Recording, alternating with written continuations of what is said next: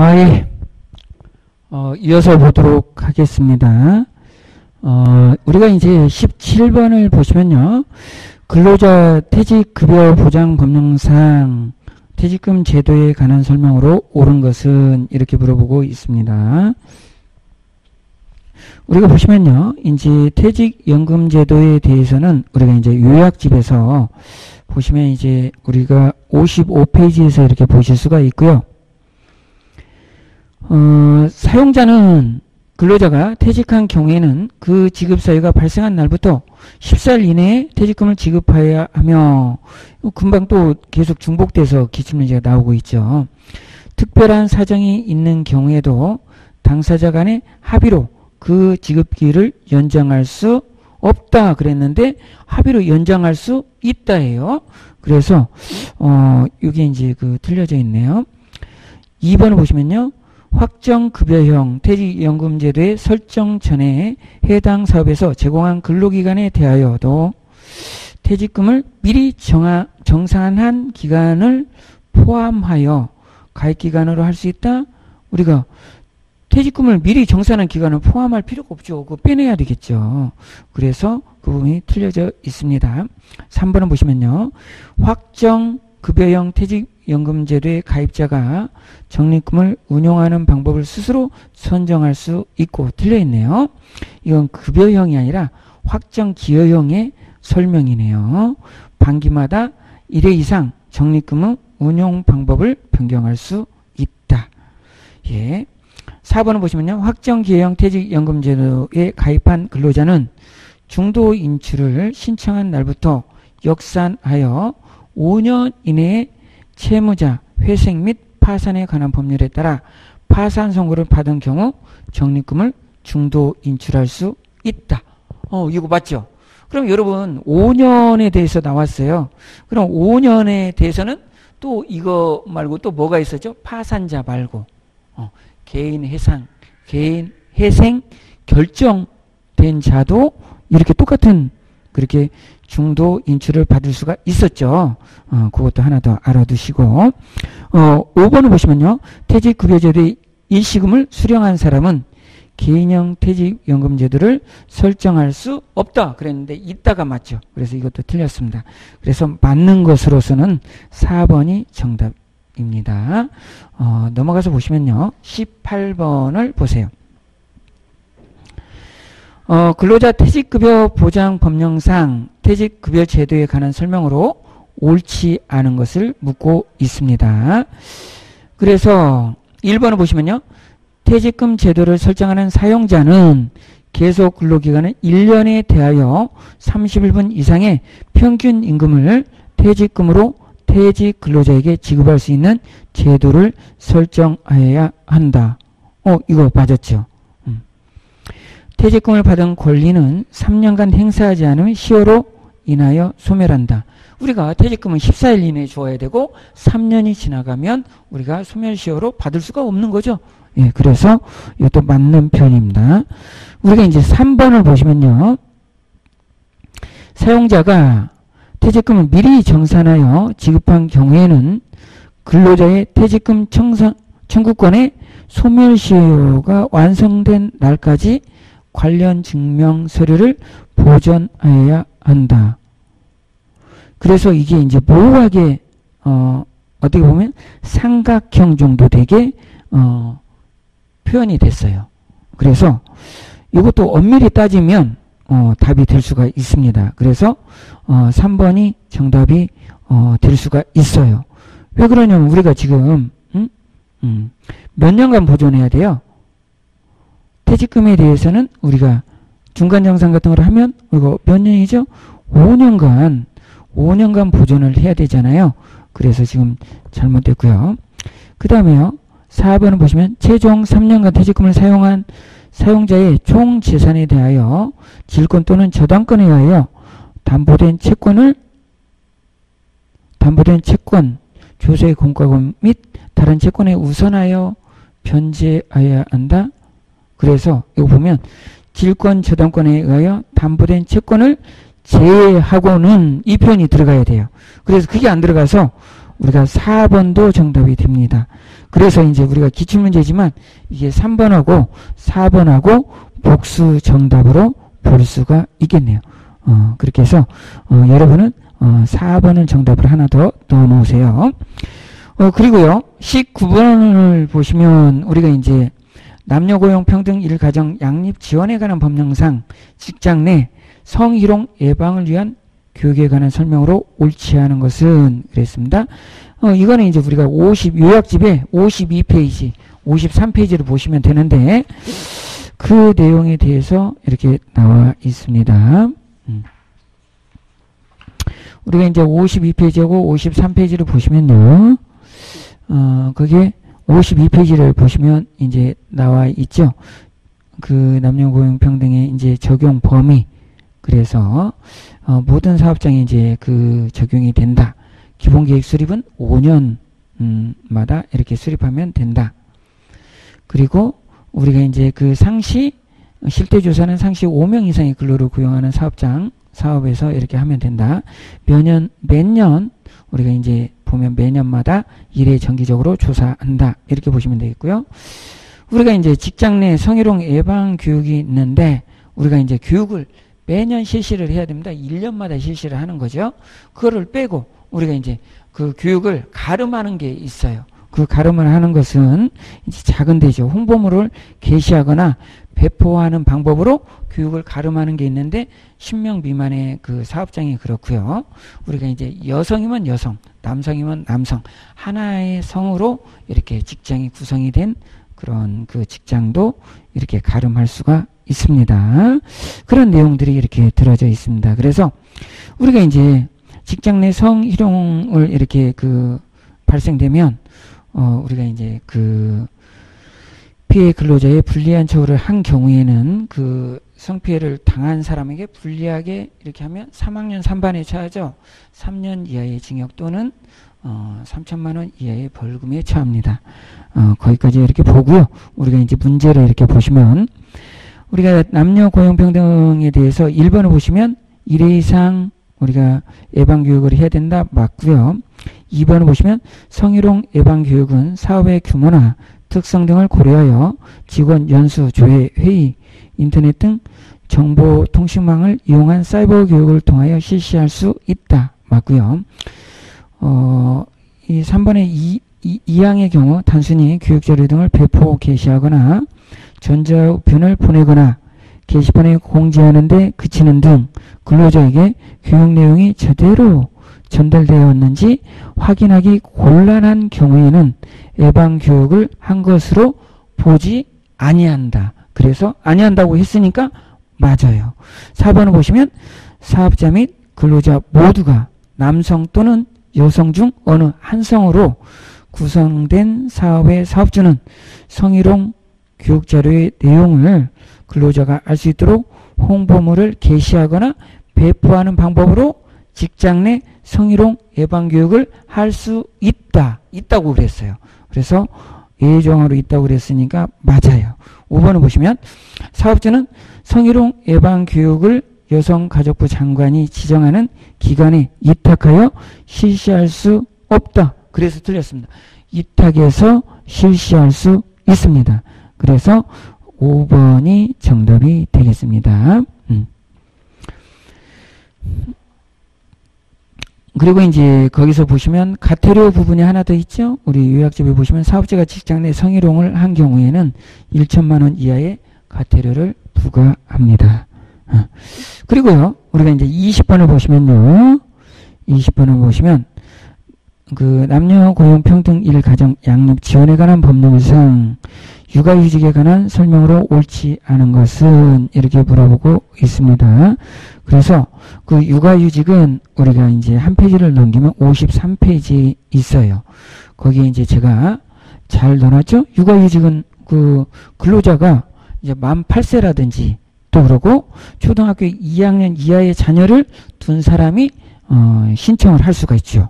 어, 그래서 육아휴직을 신청을 할 수가 있고 그 다음에 이제 우리가 육아 휴, 휴직 기간은 어, 우리가 근로 기간에 이렇게 포함을 시키나요? 제외시키나요? 우리가 포함을 시키죠. 그래서 근속 기간에 포함이 되고요.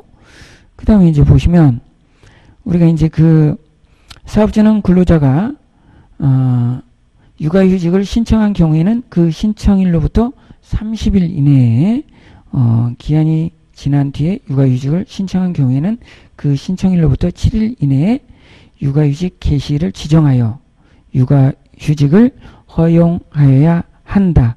어, 할 수 있다가 아니라 한다예요. 육아휴직을 허용하여야 한다. 그리고 근로자가 만 8세 이하 또는 초등학교 2학년 이하의 자녀를 양육하기 위하여 어, 근로시간을 단축, 단축하는 것을 신청한 경우에도 이를 허용하여야 한다.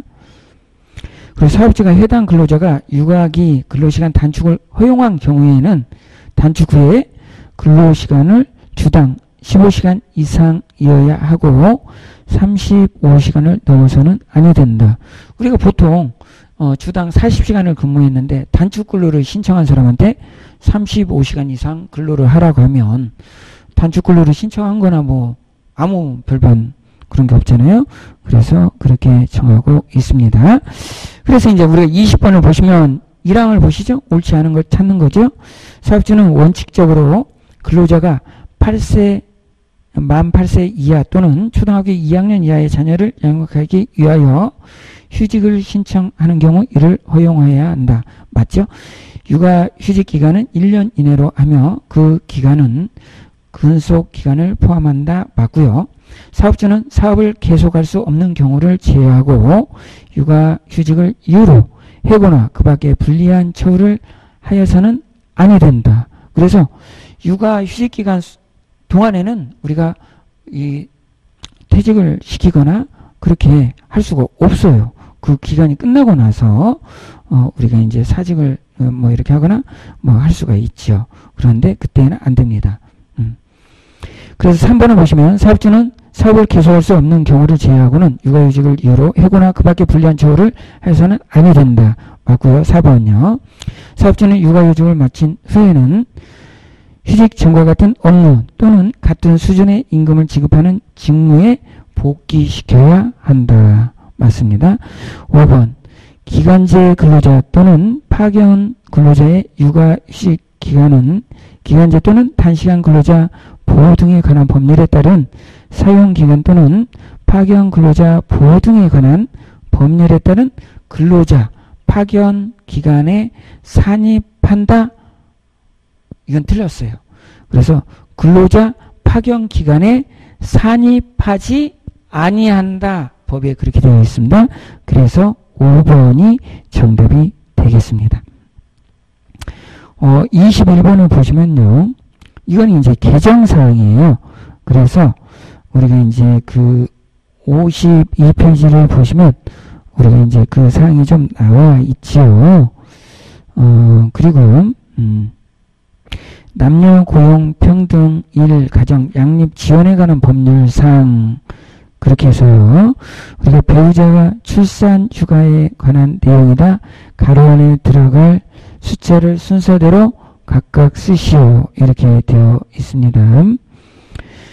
그래서 사업주가 사업주는 근로자가 배우자의 출산을 이유로 휴가를 신청하는 경우에, 경우에는 우리가 이제 여기 17회 때 당시에는 우리가 이제 5일 이내 범위에서 이렇게 돼 있었어요. 그리고 3일간의 이상의 휴가를 주어야 하고 이렇게 돼 있었는데 지금은 법이 어떻게 되었습니까? 10일 이내 범위에서 우리가 이제 그 휴가를 주어야 한다 이렇게 되어 있어요. 그리고 이 휴가는 근로자의 배우자가 출산한 날로부터 90일이 지나면 청구할 수 없다. 그리고 추가로 이 내용이 있죠. 그래서 우리가 이제 요약집을 우리가 이제 그 보시면 다 나와 있어요. 음, 우리가 이제 음, 52페이지를 보시면요. 그 아랫부분에서 출산 전후 휴가에 대한 지원 그리고 배우자 출산 휴가가 이렇게 나와 있어요. 거기를 보시면 우리가 이제 정리를 제가 잘 해놨어요. 그래서 1번을 보시면 배우자 출산 휴가는 사업주는 근로자가 배우자 출산을 이유로 휴가 가로 열고 닫고 뒤로 가시면 청구하는 경우에는 10일 10일의 휴가를 주어야 한다. 그렇게 개정이 됐죠? 그 다음에 1항의 후단에 불구하고 출산 전화 휴가 급여에 지급된 경우에는 그 금액의 한도에서 지급 책임을 면한다. 배우자가 출산 한 날로부터 90일이 지나면 청구할 수 없다. 거기까지 우리가 살펴봤죠? 사항을 보시면 배우자 출산 휴가는 1회를 한정하여 나누어 사용할 수 있다. 그랬습니다. 우리가 그 개정 전에는 5일을 주 5일을 이하로 해서 3일 이상의 휴가를 주어야 된다고 이렇게 되어 있었는데 지금은 어떻게 돼요? 10일 휴가를 주어야 되고 10일의 범위에서 휴가를 주고 일에 한정해서 그거를 10일 거를 나누어서 쓸 수도 있다. 그리고 90일 이내에 대신 신청해야 한다. 그래서 조건이 많이 좋아졌죠. 그리고 이것도 30일 그 지나면 청구할 수가 없었었는데 지금은 어떻게 해요? 90일이 이내에 청구하면 된다. 그래서 60일이 길어졌잖아요. 그러니까 어, 그렇게 보시면 되겠습니다. 여러분이 그래서 이 개정된 부분을 제가 유학집에다가 잘 정리를 해놨으니까 여러분이 잘 확인하세요. 개정이 최종적으로 개정된 것이 어, 올해 20년 5월 26일자로 우리가 개정이 됐어요. 어, 거기까지는 개정된 사항이 다 출제가 될 겁니다. 그러니까 여러분이 거기까지 다 정리해서 잘 보시면 되겠습니다. 어, 22번을 보세요. 노동조합 및 노동관계 조정 법령상 단체 협약에 관한 내용으로 옳지 않은 것은 그랬습니다. 우리가 단체 협약에 대해서는 어, 중요해요. 그래서 여러분이 그 단체 협약에 대해서는 잘 보실 필요가 있고요. 이 단체 협약 1번을 보시면 행정관청은 단체 협약 중 위법한 내용이 있는 경우에는 노동위원회 의결을 얻어 그 시정을 명령, 명할 수 있다. 예, 맞습니다. 2번을 보시면 단체 협약의 당사자는 단체 협약의 체결일로부터 15일 이내인데 30일로 했네요. 15일 이내 이를 행정관청에 신고하여야 한다. 그래서 틀려져 있습니다. 어, 30일을 15일로 수정을 해야 됩니다. 3번을 보시면 단체 협약에는 2년을 초과하는 유효기간을 정할 수 없다. 단체 협약은 2년까지만 어, 유효기간을 정할 수가 있어요. 근로계약은 몇 년이죠? 1년 이내죠. 이 단체 협약은 2년 이내예요. 그 다음에 4번을 보시면, 3번을 보시면, 4번을 보시면 단체 협약에 정한 근로 조건, 기타, 근로자의 대우에 관한 기준에 위반한 근로계약의 부분은 무효로 한다. 맞습니다. 5번을 보시면 하나의 사업 또는 하나의 사업장에 상시 사용되는 동종의 근로자 반수 이상이 하나의 단체 협약을 적용, 단체 협약에 적용을 받게 된 때에는 당의 사업 또는 사업장에 사용되는 다른 동종의 근로자에 대하여도 당의 단체 협약이 적용된다. 예, 이것도 맞습니다. 그래서 2번이 정답이 되겠습니다. 그리고 23번을 보시면요. 남녀 고용 평등 일 가정 양립 지원에 관한 법률에 관한 설명으로 옳지 않은 것을 물어보고 있습니다. 이것도 이제 우리가 보시면 이제 어 1번을 한번 봐보세요. 사업주는 근로자가 배우자의 출산을 이유로 어, 휴가를 청구하는 경우에 10일 여기에서 5일 이내 범위에서 3일간 이상의 휴가를 주어야 한다? 이것도 틀려져 있죠. 10일의 범위에서 휴가를 주어야 한다. 아까 그 52페이지에서 살펴봤어요. 52페이지 배우자 출산 휴가에 대해서 자세히 살, 살펴본 내용이고요. 그래서 1번이 틀려져 있고요. 2번도 보시면 어, 가족 돌봄 휴직 기간은 연장 연간 최장 180일로 하며 이것도 틀려 있습니다. 이거는 최장이 얼마예요? 90일로 하며 이를 나누어 사용할 수 있다. 이렇게 보셔야 됩니다. 그래서 1번하고 2번이 틀려져 있고요. 그래서 이게 이제 복수 정답이 돼요. 1, 2번이.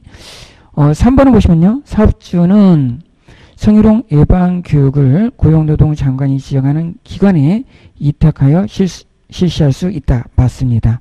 이제 법이 개정이 되니까 복수 정답 이런 것들이 좀 나옵니다. 어, 사업주는 사업을 계속할 경우를 제외하고는 육아휴직을 이유로 해고나 그 밖에 불리한 처우를 하여서는 아니 되며 육아휴직 기간에는 그 근로자를 해고하지 못한다. 5번을 보시면요. 사업주는 근로자 외에 근로자의 생활을 보조하기 위한 금품의 지급 또는 자금, 융자 등 복리 후생에서 남녀를 차별하여서는 아니 된다. 그래서 어, 예, 23번을 살펴봤고요. 우리가 요약집에 자세히 잘 나와 있으니까 여러분 요약집으로 정리를 잘 하세요. 어, 24번을 보겠습니다. 노동조합 및 노동관계 조정 법령상이죠. 단체 협약의 유효기간에 관한 설명이다. 가로 안에 들어갈 숫자를 순서대로 쓰시오. 요거는 우리가 이제 48페이지를 찾아보시면 거기에 이제 내, 나와 있는 어, 내용이에요. 그래서 지금 이 부분에 대해서는 우리가 그 단체 협약의 유효기간 그래서 48페이지 중간을 보시면 단체 협약의 작성이 있고 그 다음에 단체 협약의 유효기간이 나와 있는데 단체 협약은 2년을 초과하는 유효기간을 정할 수 없다. 이렇게 돼 있죠. 그리고 단체 협약의 유효기간을 정하지 아니한 경우 어, 일한 기간을 초과하는 유효기간을 정한 경우에는 그 유효기간을 2년으로 한다. 이렇게 돼 있죠. 그리고 3번을 보시면 단체 여기에 다 나와 있어요. 그러면 이제 문제를 한번 풀어볼까요?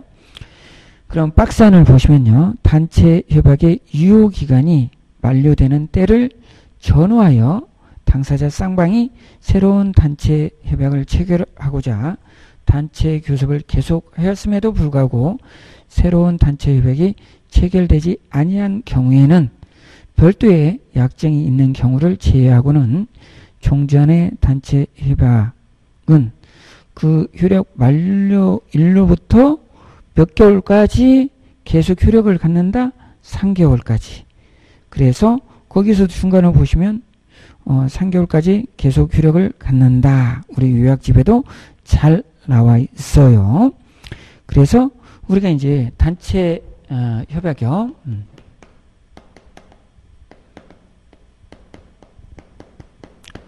어, 단체 협약은 우리가 어떻게 된다고요? 2년을 초과해서 초과해서 정할 수 없다라는 거죠. 그리고 단체 협약이라는 것은 우리가 어 바로 예를 들어서 A, B 이렇게 해서 이 이제 그 이렇게 근로자가 있잖아요. 어. 근로자 단체가 있어요. 그리고 여기도 B라는 단체가 있어요. 그러면 우리가 이게 이제 사업자, 어, 사업주 단체도 있죠? 그래서 여기 협의를 하는 거예요, 협의. 어, 단체가 뭐 C단체도 있을 수가 있죠. 근로자 단체가. 그런데 이제 과반수가 넘는 근로자 단체가 있으면 그게 대표로 이렇게 하겠죠. 그래서 어, 사업주 단체하고 이렇게 지금 단체 협약을 맺으려고 하는데 단체 협약이 안 맺어져요. 그러면 이런 경우에는 어떻게 할 거냐? 어, 3개월까지 어, 기존의 단체 협약을 계속 사용한다. 이렇게 지금 얘기를 하고 있죠. 네, 그 내용을 봤고요.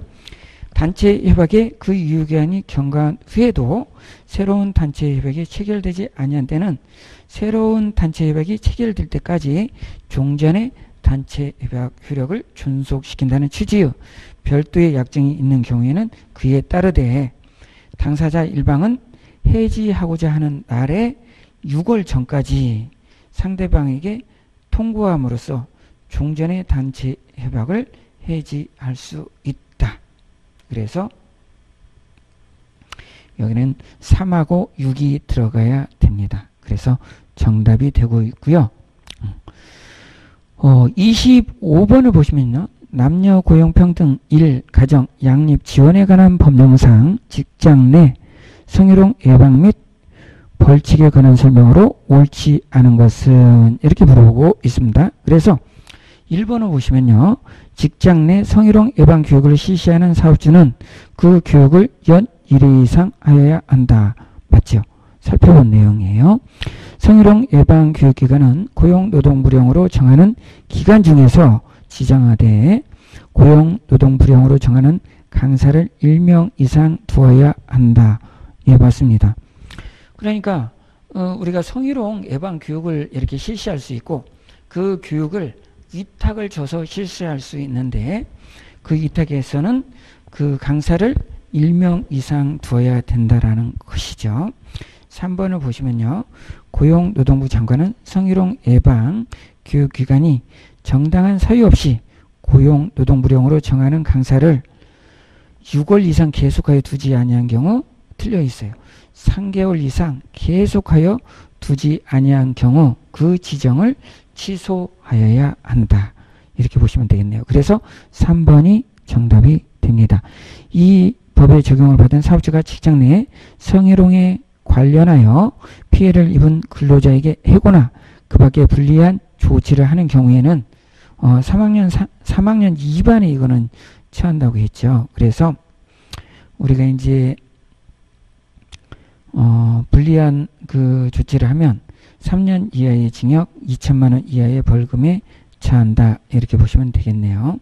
5번을 보시면요. 직장 내 성희롱을 하여 최근 3년 이내에 가태료 처분을 받은 사실 있는 사업주가 다시 직장 내 성희롱을 한 경우에는 얼마 이하의 그 가태료를 받는다고 그랬어요? 1천만 원 이하의 가태료에 처해진다고 했습니다. 그래서 여기 25번의 정답은 3번이 되겠습니다. 그리고요, 우리가 이제 26번을 보시면요. 남녀 고용 평등 1 가정 양립 지원에 관한 법령상 직장 내 성희롱 예방 교육에 관한 내용이다. 가로 안에 들어갈 어, 숫자를 쓰시오 그랬네요. 상시 몇 명 미만의 근로자를 고용하는 사업주는 그랬어요. 그럼 여기에는 성희롱 예방 교육에 대한 내용인데 근로자가 알 수 있도록 홍보물을 게시하거나 배포하는 방법으로 직장 내 성희롱 예방 교육을 할 수 있다. 아까 우리가 또 살펴본 내용이죠. 어, 계속해서 중복돼서 이렇게 출제가 되고 있어요. 그럼 몇 명이라고 그랬어요? 어, 교육의 예외 조항으로 10명 이내에 사업장에서는 어, 이렇게 그렇게 한다고 그랬죠. 그래서 상시 10명 미만의 근로자를 고용하는 사업주는 이렇게 해서 그 홍보물로 교육을 대체할 수 있다. 그래서 10이 들어가면 맞습니다. 27번을 보시면요. 우리가 이제 이 요약에 어, 부당 해고에 대해서 구제 신청에 대해서 나오고 있어요. 요거는 우리가 이제 47페이지에서 봤던 요약집 47페이지에서 봤던 내용이에요. 기준 근로기준 법령상 부당 해고 등 구제 신청에 관한 설명으로 옳지 않은 것은 그랬습니다. 우리가 부당 해고에 대해서 구제 신청을 아까 이렇게 부당 해고에 대해서 봤던 내용이에요. 구제 신청이요. 그래서 사용자가 근로자에게 부당 해고 등을 하면 근로자는 노동위원회에 구제 신청을 할 수 있다. 음. 노동위원회는 부당 해고 등이 성립한다고 성립한다고 판정하면 사용자에게 구제 명령을 하며 부당 해고 등이 성립하지 아니한다고 판정하면 구제 신청을 기각하는 결정을 하여야 한다. 어, 맞습니다. 3번을 보시면 지방노동위원회 구제명령이나 기각결정을 불복하는 사용자나 근로자는 그러니까 우리가 구제명령에 대해서 기각결정이나 이게 예, 우리가 어 이제 어, 부당해고등이 성립하지 아니한다고 판, 어, 그 구제 명령에 대해서 불복하는 사용자나 어, 근로자는 구제 명령 기간에 통지받은 날로부터 10일 이내에 우리가 여기에서 10일 이내에 우리가 재심을 청구할 수 있고 중노위에 또 우리가 여기에서 어, 수긍하지 아니하는 그러니까 음,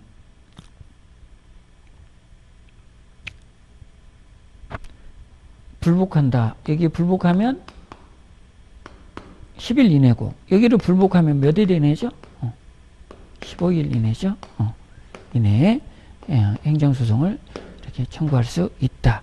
그래 그래서 어, 여기를 보시면 되겠네요. 그래서 기각 어, 결정 통지서를 받은 날로부터 10일 이내에 중앙노동위원회에 재심 신청을 할 수 있다. 맞는 편이고요. 4번을 보시면 노동위원회 구정, 구제명령 기각 결정 또는 재심 판정은 중앙노동위원회에 대한 재심 신청이나 행정소송 제기에 의하여 그 효력이 정지된다, 어, 정지되지 아니한다고 어, 아까 기출문제에서도 강조를 했고 이게 계속해서 중복해서 지금 우리가 살펴본 것만 세 번째 보고 있죠. 어. 그래서 4번이 정답이 되고 있습니다. 행정소송을 제기하여 확정된 구제명령 또는 어, 구제명령 또는 구제명령을 내용을 하는 재판 재심 판정을 이행하지 아니한 자는 1학년 일반이죠. 그래서 1년 이하의 징역 또는 1천만 원 이하의 벌금에 처한다. 그래서 맞습니다. 28번을 보면요. 근로자 퇴직급여 보장법 용어에 관한 내용이다. 가로 안에 들어갈 어, 용어를 쓰시오. 무슨 퇴직연금 제도란 가입자의 선택에 따라 가입자가 납입한 일시금이나 사용자 또는 가입자가 납입한 부담금을 적립 운용하기 위하여 설정한 퇴직연금 제도로서 급여 수준이나 부담금의 수준이 확정되지 아니한 퇴직연금 제도를 말한다. 그럼 확정이 되지 않은 것은 우리가 퇴직연금 제도는 세 가지가 있었어요. 거기서 확정이 되지 않은 것은 딱 하나가 있었죠. 그게 뭐였어요? 개인형 퇴직연금 제도. 우리가 그거를 여기서 개인형 퇴직연금 제도만 확정되지 않았다고 했어요. 그래서 개인형이 딱 들어가면 됩니다. 그래서 가로 안에 개인형을 넣으면 맞습니다. 29번을 보시면요. 근로자 퇴직급여 보장 법령상 퇴직금 제도의 설정에 관한 규정이다. 가로 안에 들어갈 숫자를 순서대로 각각 쓰시오. 그래서 박스는 보시면요. 사용자는 퇴직하는 근로자에게 급여를 지급하기 위하여 퇴직급여 제도 중 하나의 하나 이상의 제도를 설정해야 한다. 다만 계속 근로기간이 1년 1년이에요. 1년 미만인 근로자 또는 4주간 평균하여 1주간의 소정 근로시간이 15시간 미만인 근로자에 대하여는 그러하지 아니하다. 그래서 여기는 1년하고 15시간이 들어가면 맞습니다. 그래서 여기는 1년 어, 15시간 이렇게 넣으면 되겠네요. 30번을 보시면요. 산업재해보상법령상 설명으로 옳지 않은 것은 그랬습니다. 그러면 여기는 우리가 이제 산업재해보상법은 4대 보험으로 이렇게 넘어와서 우리가 보는 것이기 때문에 여기까지 보고 어, 이 30번은 다음 시간에 이어서 보도록 하겠습니다. 여러분 수고하셨습니다.